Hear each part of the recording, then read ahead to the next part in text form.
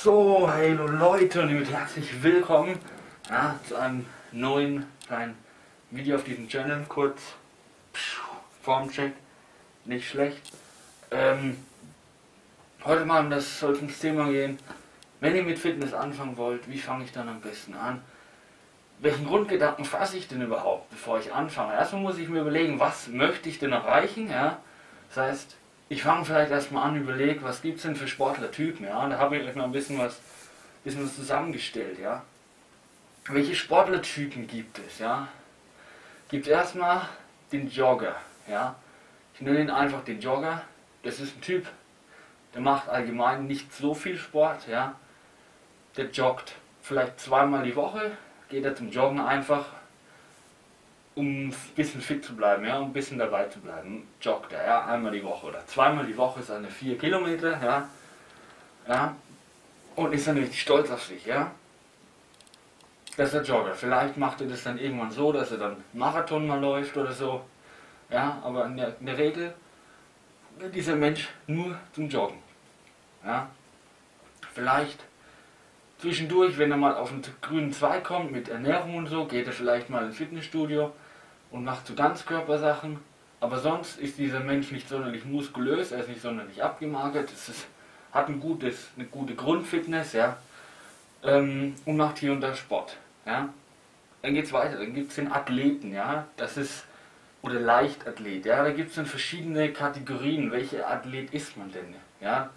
Athlet ist man dann, wenn man, denn, wenn man überhaupt einen athletischen Sport betreibt, Sprint, Sprung, Wurf, ja, solche Sachen oder Schwimmen, ja, dann ist man ein Athlet, ja, dann ist man ein Verein oder nicht, und man verfolgt ein gewisses Ziel und auf das arbeitet man hin, ja, das heißt, man geht zum, man, man geht zum Training, man geht sprinten, man springt, man macht Schwimmtraining, ja, zweimal die Woche oder so und macht aber einmal die Woche wirklich auch mal eine intensive Gym-Session oder hier und da mal Gewichttraining, ja, das heißt, diese Menschen, die sind, wenn sie ähm, Profi sind, haben eine richtig gute Grundkörperfitness, richtig gute Muskulatur, wenn sie so hobbymäßig machen, auch relativ gut. Ja?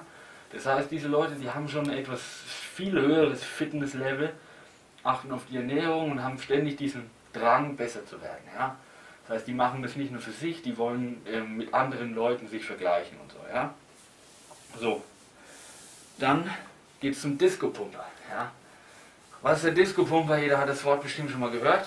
Ja, das sind die Leute, die, um in der Disco einen dicken Arm am Start zu haben, vielleicht zweimal die Woche ins Fitnessstudio gehen. Was machen die da? Die machen vier Sätze Bankdrücken, vier Sätze Bizeps und zwei Trizeps, ja, und das zweimal in der Woche. Und am äh, ja, Montag und Mittwoch, ja, und am Freitag, am Samstag in der Disco, da geht's los, ja. Diese Leute achten auch nicht besonders auf ihre Ernährung, ja, die, die pfeifen sich halt hier und da schon Fastfood rein und so Sachen, ja, die sind auch vom, von der Grundfitness her nicht ganz so gut, ja, die meinen, die machen was, die bewegen vielleicht irgendwann auch viel Gewicht, aber so richtig definiert, so einen richtigen guten Fitnesskörper kriegen die dadurch nicht, ja, die wollen einfach nur massiv aussehen, um in der Disco nicht blöd angelabert zu werden, ja. Dann gibt es die Strandpumper. Das ist dann ähnlich wie der Disco-Pumper, die Leute, die die im, Winter, da sind die dann so am Rum, Rumlallen, ja, die saufen, die, die, die, essen auch Fastfood, ja, das ist denen dann gar nicht so wichtig. Ja. Aber wenn es dann auf den Sommer zugeht, wenn es dann an den Strand geht, dann sind die Leute plötzlich wieder einigermaßen gut dabei. Da geht es dann im Mai los oder im April, da geht, dann ins, geht man dann ins Fitnessstudio, ja, vielleicht eine halbe Stunde, dreimal die Woche und da wird ein bisschen Bauch trainiert, ein bisschen joggen gegangen und ein bisschen hier Zeug gemacht, ja. Um am Strand einfach nicht fett zu sein, sondern sag ich mal einen relativ flachen Bauch zu haben, vielleicht ein bisschen Grundmuskulatur. Im Prinzip aber auch recht schmale Figuren, ja meistens wollen halt einfach nur, sag ich mal, am Strand nicht ganz so schlecht rüberkommen. Ja, das haben auch ein gut, einigermaßen gutes Fitnesslevel, kann man viel drauf aufbauen. Das sind auch wieder so Zwecksachen, ja. Dann geht's weiter, ja. Der Kraftsportler oder der Fitnessfreak, ja, oder sage ich jetzt mal, ja. Das sind dann Leute, die gehen dreimal, viermal in der Woche ins Fitnessstudio und machen Kraftsport, ja. Das heißt, die machen intensiven Kraftsport, die gehen her, machen, ihre, machen viele Grundübungen, ja. Und diese Leute, die haben dann teilweise auch einen richtig guten Körper, ja. Und gibt es halt auch wieder verschiedene Typen. Aber meistens sind es auch wieder ähnliche Leute, die haben eine gute Fitness, ja, die haben auch einen guten Körper, aber die sind vielleicht hier und da nicht ganz so ambitioniert, die sind gut.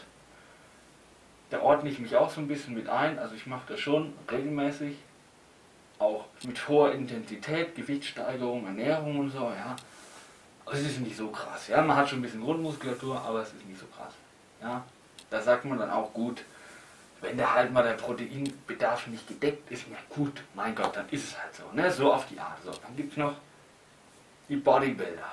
Die stehen ganz oben in der Pyramide, sind die, die noch ein Stück krasser sind. Die trainieren fünf, sechs Mal die Woche, haben ihren festen Plan, ihr festes Schema, machen richtig hartes Zeug, teilweise auch richtig viel kleine Übungen, die man so gar nicht machen würde, die wirklich nur kleine Schönheiten noch verbessern am Bizeps oder was weiß ich wo.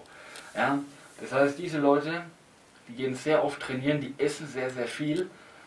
Äh, professionell nehmen auch Steroide, ja, das heißt, diese Leute, die sind dann da und machen dann, ja, was weiß ich, die brauchen ihre 200, 300 Gramm Eiweiß am Tag, ja, und wenn das nicht stimmt, dann wird aber was dran gemacht, dass es stimmt. Also die wollen jeden Tag ihren Grundnahrungsbedarf reinkriegen. Ja? Die machen dann auch gewisse Schemata, um abzunehmen, um zuzunehmen. Ja?